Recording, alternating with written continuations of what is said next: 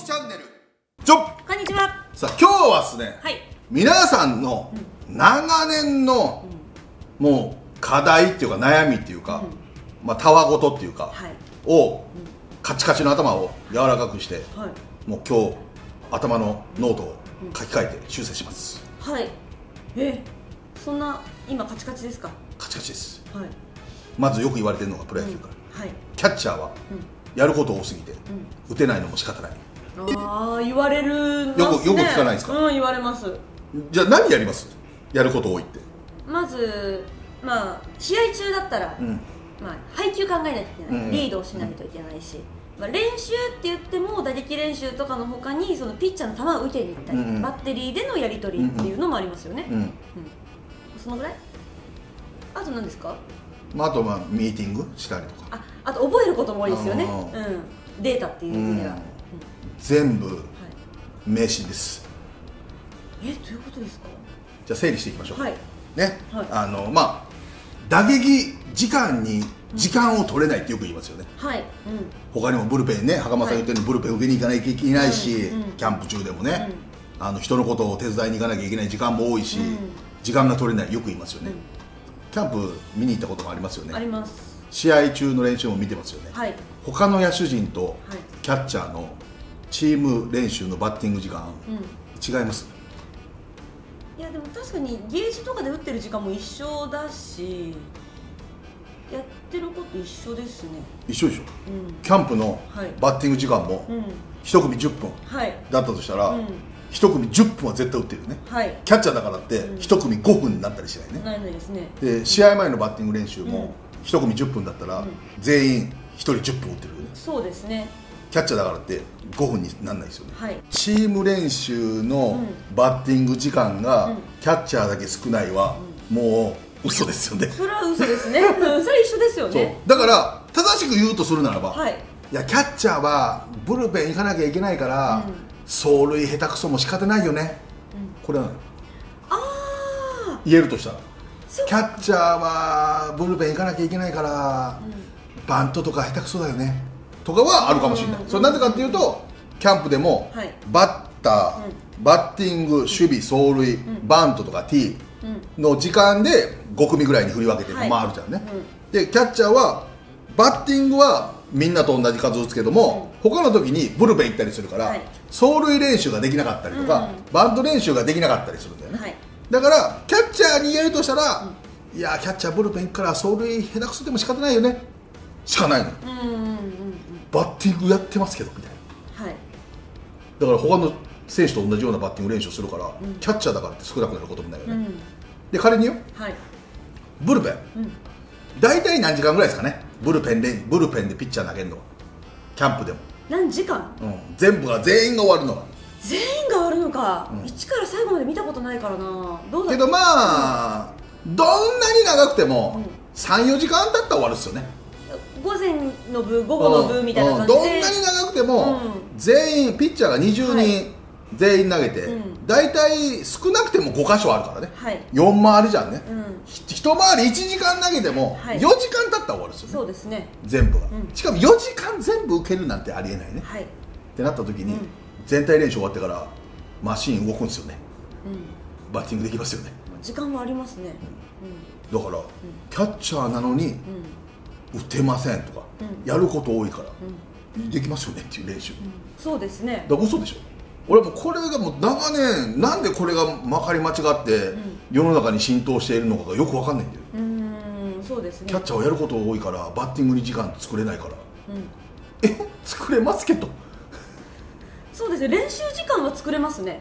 だって俺,、俺で言うとよ、うん。キャンプの時に、はい。じゃあバッティングキャンプだと、まあ、20分一回りぐらいなんでね、はい。10分10分。2箇所だったら10分10分でだからあの右投げ左投げとかね、あとは人とマシンとかはい。もあったりして、大体20分一回りだから、20分全部打てるよね、はい。で終わってから、俺とかと福浦さんとロングティーを1時間以上やってるわけよね、2人で、うんうんうん。でその後マシンとかで打つわけよね、はい。ずっと打てますけどみたいな。うん。やろうと思ったら、はい。でその中に終わってからまた特殊とかね、うん特打とかもチームのやつあるじゃんね、そこにも入ることもあるわけじゃん、はい。で特殊で守備行ったとしても、終わってからマシンとか T とかロング T とか手伝ってくれる人はいっぱいいるんだからはい、えできますよねっていう。うん。キャッチャーでもバッティングできますけどみたいな。うん、私の中のキャッチャー論としてはそのやることが多いから打てないよりは私のちょっと私の中の矛盾を言っていいですか、うんうん私のは昔にすごい若手のキャッチャーに話聞いた時に、もうピッチャーをリードすることに頭がいっぱいで、うん。リードのことしか考えられなくて、ん。自分のバッティングにもう全然身が入らないって話をしてたんですよ。うん。うんああなるほど。だから自分の自チームのピッチャーのそのリードうん。球のこととかを考えてるから相手チームのそのピッチャーに関して、まあ、なかなかじゃあ情報不足なのかなみたいなうん。感じなわけですよ。そんなずーっとピッチャーのことばっかり考えてるいやなんかなのかなって話を聞いてだからまあ強いて言ったら、うん。あるとするならば、5点ぐらい56点1イニング取られました。はい。20分ぐらい守ってて。はい。やっと終わりました、うん。次先頭です。はい、わあ、うん、も気づいたらベンチ座ってる時あるからね。もう打席終わって。う全然頭が整理しきれなくて。わああるかもしんない、うんうん。正直ね、はい。でもそれは野手も一緒なわけ。うんあそうですね。野手も、うん。でもキャッチャーだけが特別なわけじゃうんないじゃんね、はい。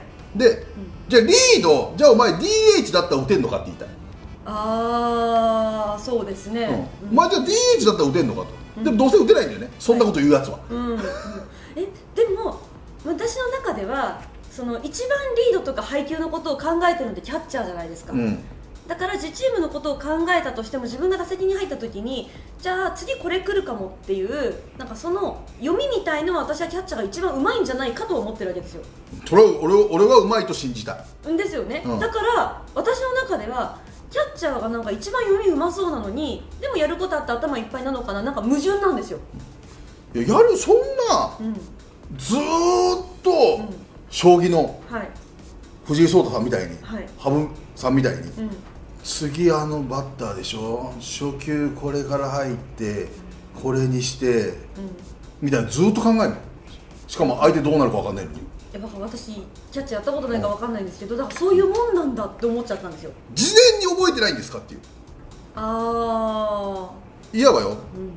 相手の長所短所傾向っていうのは、はい。まあ俺は常に言ってるんだけども、100%は無理でも、うん。その選手の8割方は、あ長所短所傾向、はい。でカウント別ピッチャー別、うん。右左。もしくは自チームのピッチャーだったらピッチャー別、うん。えー調子がいい時悪い時、はい。みたいなのの8割方いつ何時聞かれても答えれなきゃいけないと思ってる。はい。寝てて起きても、うん。浅村って言われたら浅村はこうでこういうとこ苦手でこういうとこが得意でこういう時調子いいですみたいな。うん。え言えませんか？言えないんちゃうかと思っちゃうそういうやつはでもそれを覚えたり頭に入れることにいっぱいいっぱいになっちゃってて他に身が入ってないってことなんですかね？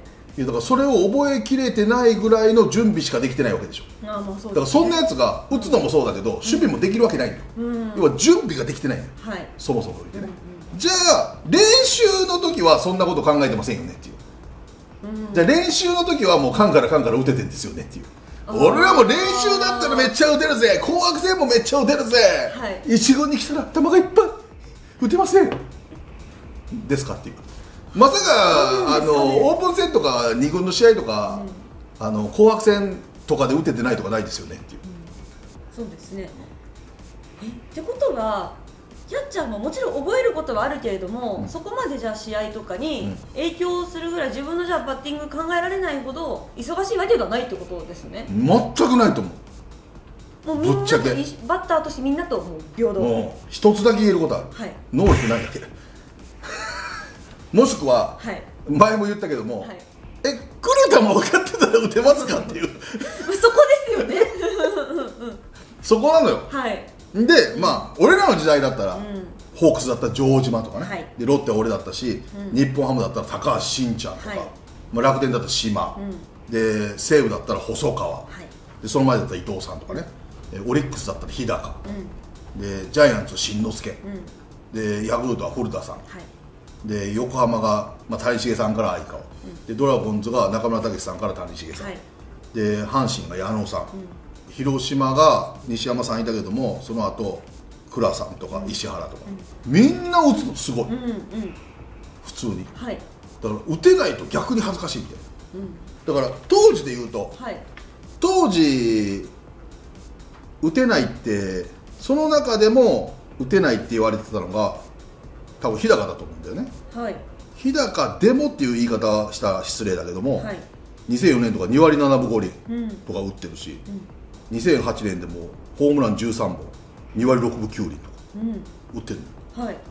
打てないって言われてたもん、そうですね、うん、だ前は普通に打つが普通だったってことですね。そうそうそうそう。だから最低2割5分みたいな。はい。うんうんホームラン最低10本みたいな。はい。今最高2割5分って言って細川とかエグかったからね。打率は低いよ。はい。ホームラン20発ぐらい打つから。うん。パンチ力あるから。振る力もあったし。今って打てるキャッチャー感ある人ってあんまりこう。森ぐらいじゃない？あそうですね。森選手ですね細川は2007年でいうと2割3分9厘、2000ね、2008年2割3分8厘だけどホームラン10本と16本打ってるからうん。うんパンチ力あるんだよね。はい。当てるっていうね、ところでは。だから打率低くでも一発あるとかね、うん。そんなキャッチャーだからやること多いから打てないはうん。言い訳でしかない、そうですね。なんかキャッチャーだったらまあちょっと打率低くても仕方ないかなってちょっと思いがちではにはなっちゃってましたね、うん。であとやっぱ今だと多分球界で言ったら森が一番打つんじゃない？はい。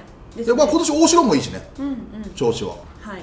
で中村が若干スタートがね低めに入ってで坂倉も若干低めに入ってまあ、上がってくるでしょ。でもホームランと打ってますしねそうそうそうそう。で木下もねまだいい感じだし、うん。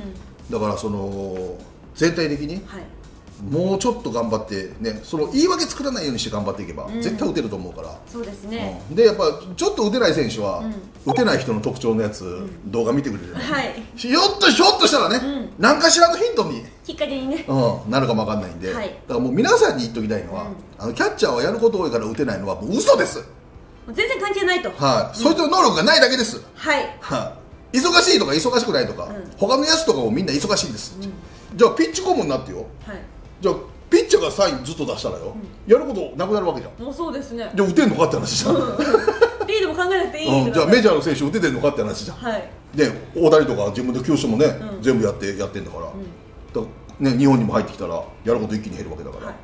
だからまあねあの言い訳を作らないように、やればできるっていうところで。キャッチャーもっと打ってほしいということで。もちろんここ使えっていう。打てないやつはここ使おう。いやキャッチャーって頭いいイメージなんだけどな。で頭使ってるイメージ？だから、古田も分かってても打てないのかも分かんない。